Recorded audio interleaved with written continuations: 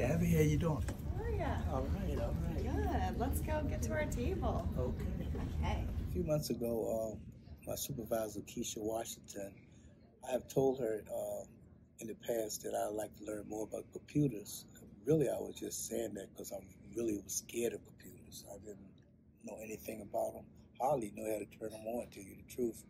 And she reached out to Abby and uh, told me that, you know, she, Abby would help me here, you know, a weekly basis. So when I first came, I, I stressed to Abby uh, how nervous I was and that I didn't have anything, no knowledge whatsoever about computers.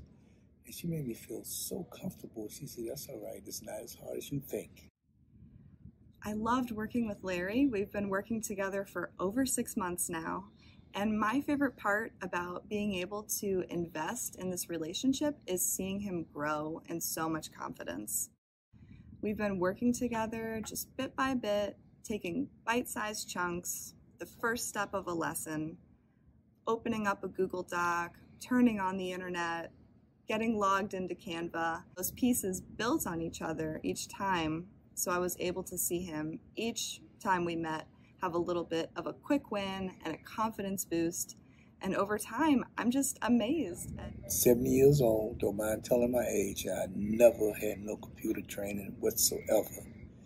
And when I came back with anything new, I learned it because Abby was so easy in teaching me. I felt so comfortable, and uh, I'm glad I did.